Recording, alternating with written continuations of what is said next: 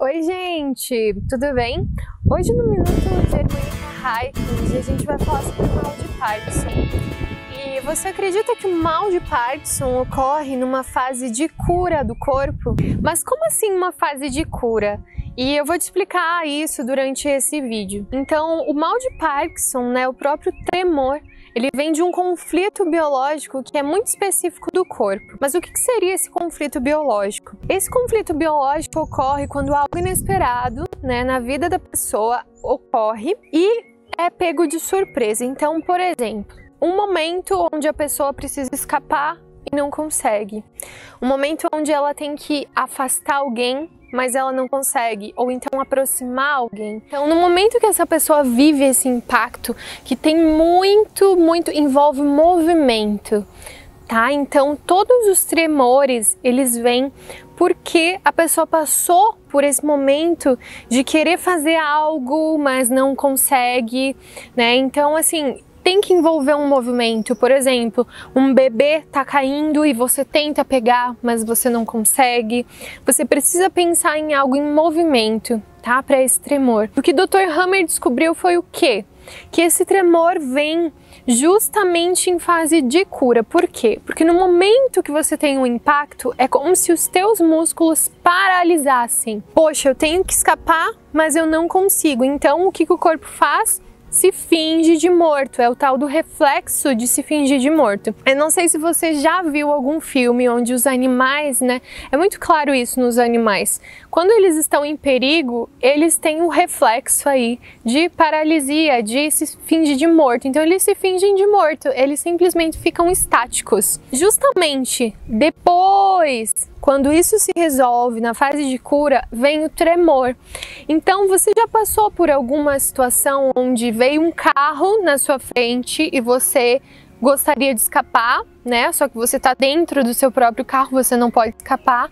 E aí você sente as suas pernas pesadas, é como se você perdesse as pernas. Depois, quando isso passa, as suas pernas começam a tremer. O mal de Parkinson, na, na verdade, nada mais é do que isso. São tremores por respostas biológicas de momentos que a pessoa viveu. É isso que ocorre. Só que uma das principais coisas que, que levam né, a esse prognóstico ruim né, das pessoas que começam a viver todo esse quadro, principalmente são os impactos do diagnóstico, né? E também é, momentos assim que a pessoa vai achar que vai ficar numa cadeira de rodas, que não vai mais conseguir caminhar, que vai ficar numa cama. Então, tudo isso, quando até quando a gente pesquisa lá no Google, né, a gente é impactado.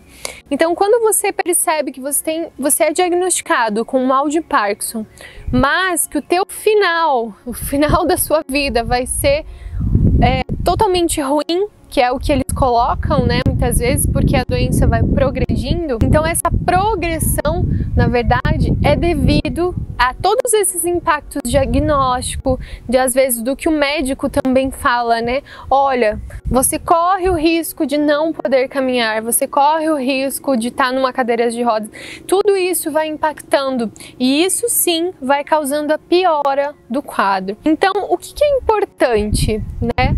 Não é aqui que não existem culpados aqui, mas quanto mais consciência do corpo a pessoa tiver, quanto mais consciência do porquê que ela está doente, por que, que o corpo está respondendo dessa forma, mais fácil ela sair do quadro, mais fácil ela se tornar independente de tudo isso, né? Porque é a gente que comanda o nosso cérebro. Então, por mais que a gente receba esses impactos, é muito mais fácil a gente, quando a gente sabe lidar com eles, quando a gente sabe diminuir os conflitos, quando a gente sabe o que o nosso corpo precisa para sair disso tudo. Então a gente precisa trabalhar nossa mente, dizer tudo bem, eu tô com esse tremor, mas esse tremor vai passar. Isso é diferente, é muito diferente, gente, de pessoas que nem sabem por que, que o tremor tá ali.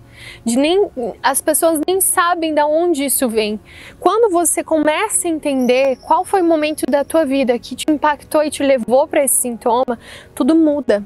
Então, eu deixo a dica aqui para que vocês continuem acompanhando os vídeos. Cadastre lá no site. A gente vai ter o nosso workshop gratuito também, né, que sempre ocorre todos os anos. Então, participem, tá bom? Fica a dica então. Um grande abraço, se inscreve aqui no canal e liga o sininho para você sempre é, ser notificado dos vídeos, tá bom? Um grande abraço!